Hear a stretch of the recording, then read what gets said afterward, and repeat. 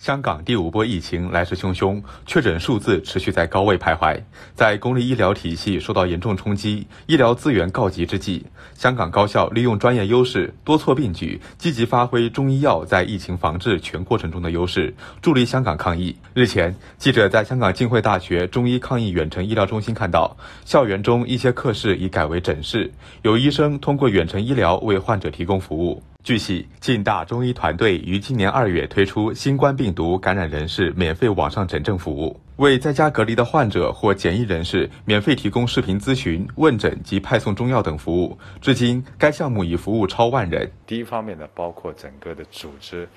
呃，中医的远程医疗的情况，因为主要针对目前呢，一大部分病人在确诊之后居家隔离，没有办法就诊。同时呢，没有办法出来拿药的情况。第二个工作呢，我们在线上提供了义务咨询，因为咨询的工作呢，有很多病人，其实他有的部分病情也未必很重，手上有药，但不知怎么办。第三部分的工作呢，我们制定了一个香港的新冠肺炎中医诊疗的一个方案，这样的话呢，就同。指导我们在临床诊疗过程当中的医疗工作。该校协理副校长卞兆祥介绍，学校结合内地新冠肺炎治疗经验、本地案例等，编写完成香港新冠病毒感染者诊疗方案，为相关临床诊疗提供规范指引。香港的病人他有一些非常特别的特征，香港的一个呃常年气候比较潮湿，那么。我们说，在这个新冠病人的临床特征上面来讲，从病因上说，他这个湿邪比较明显，所以在临床用药的过程当中，我们特别强调在新冠治疗的基础上，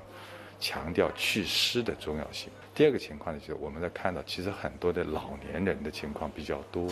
老人本身他有些基础疾病，像比方说糖尿病啊、高血压，像一些中风的基本情况。所以在临床用药上来讲，我们因应这个情况呢，我们在临床用药方案上面做了一些调整，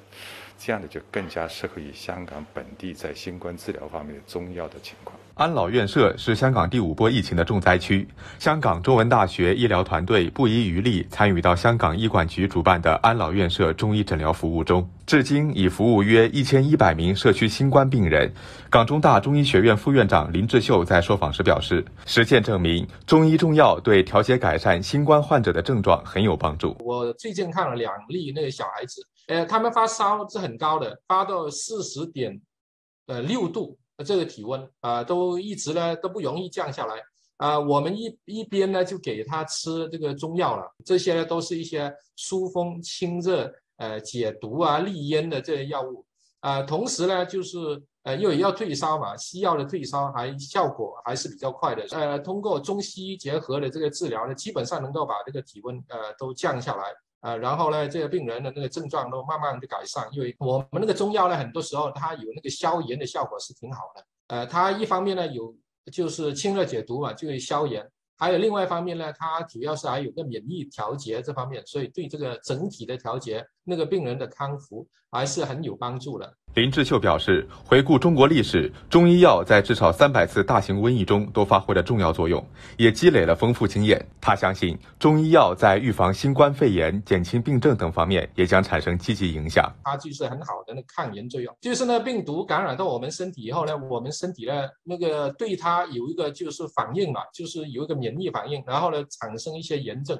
如果我们就及时把这个中药呢内服，然后呢这个中药呢因为它有很好的那个清热解毒，所以呢把这个炎症呢把它阻断，所以呢基本上呢就能够很快的把，比如说把那个体温给降下来，然后呢就是一些临床症状，包括咽痛啊、咳嗽啊、咳痰啊这些呢都能够得到比较好的啊一个就缓解。啊，甚至改善啊，痊愈。除了为新冠肺炎患者提供临床服务，香港大学也从新冠的预防、治疗和康复多方面提供支持。港大中医药学院院长冯义斌在受访时表示，港大团队在疫情初期已参考新型冠状病毒肺炎诊疗方案试行第七版及国内外经验，制定出第一版香港的中医治疗方案。包含病前预防、病中治疗和病后康复三方面。那么还有打疫苗以后出现的一些不良反应呀，也会找中医看呢。或者是康复以后，有些他也有各各种各样后遗的症状，他也要找中医看。所以在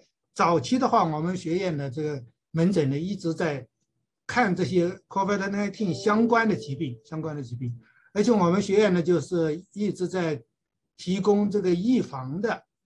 方案里边呢，包括各种药膳食疗的东西。现在目前呢，我们呃给市民大众提供了一个六个方啊，病前的食疗方、病中的食疗方和病后的食疗方各两款。呃，我呃据我了解呢，就很受市民大众的欢迎啊，因为这个食疗方呢，它是药食两用的，都比较平和。嗯，那么对舒缓